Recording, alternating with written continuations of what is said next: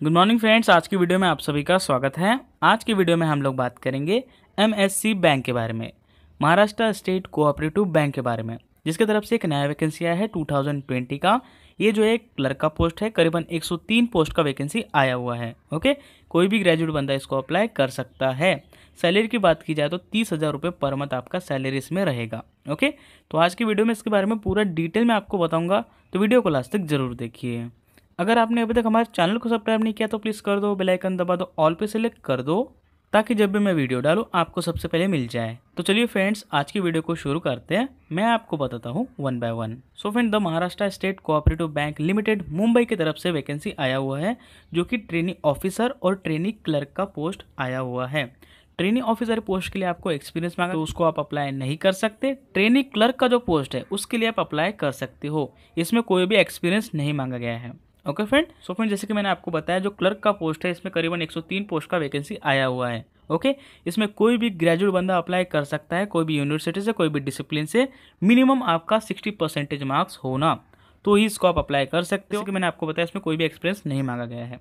उसके बाद हम लोग बात करते हैं एज की। एज जो आपका 21 साल से कम नहीं होना 28 साल से ज़्यादा नहीं होना।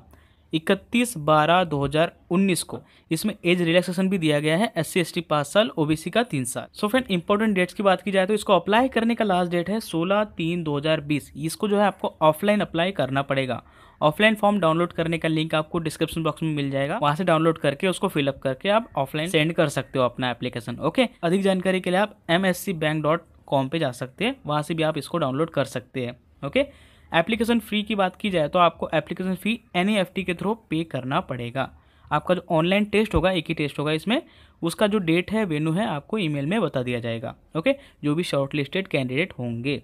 ठीक है फ्रेंड चलिए आगे देखते हैं। सो फ्रेंड सबसे बड़ी बात, कोई भी महाराष्ट्र का कैंडिडेट ही इसको अप्लाई कर सकता है। ओके आपके पास महाराष्ट्र स्टेट का डोमेसाइल सर्टिफिकेट होना तो ही इसको आप अप्लाई कर सकते हो ओके मतलब ओनली महाराष्ट्र के कैंडिडेट इसको अप्लाई कर पाएँगे। सैलरी की बात की जाए तो क्लर्क का सैलरी जैसे कि मैंने आपको बताया, तीस हज़ार रुपए पर मंथ के हिसाब से रहेगा। एप्लीकेशन फ़ी की बात की जाए तो क्लर्क के लिए अगर आप जनरल ओबीसी ईडब्ल्यू कैटेगरी से हो तो आपको ग्यारह सौ अस्सी का फ़ी लगेगा ओके अगर आप S C S T P W D candidate हो तो आपको फाइव नाइन्टी रुपीज़ फ़ी लगेगा। जो कि आपको एन के थ्रू पे करना पड़ेगा, या आप देख सकते हैं एन इस अकाउंट में आपको करना पड़ेगा ओके वहाँ से स्लिप लेके आपको अपने फॉर्म में अटैच करके अपने डॉक्यूमेंट के साथ सेंड करना होगा ओके एग्जामिनेशन की बात की जाए तो आपका एक ऑनलाइन एग्जामिनेशन होगा ओके जैसे आप ऑनलाइन एग्जामिनेशन क्लियर कर लेते हो तो उसके बाद आपका कंप्यूटर प्रोफेसियंसी टेस्ट होगा, जो कि एक नॉर्मल सा टेस्ट होता है ओके उसके बाद आपका इंटरव्यू होगा। सो फ्रेंड अप्लाई करने के लिए सिंपल सा आपको डिस्क्रिप्शन बॉक्स में जो लिंक मिलेगा, उस फॉर्म को आप डाउनलोड करके सारा कुछ फिल करके इस एड्रेस पे आपको सेंड कर देना है।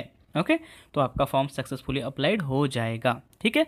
16 मार्च 2020 के पहले पहले आपका फॉर्म वहाँ पे चला जाना चाहिए। ओके फ्रेंड आई होप आपको सारी चीज़ें समझ में आई होगी। वीडियो पसंद आई होगी तो लाइक करना, अपने दोस्तों के साथ शेयर करना और कुछ कमेंट होगा तो कर देना फ्रेंड तब तक के लिए अपना ध्यान रखना। Good bye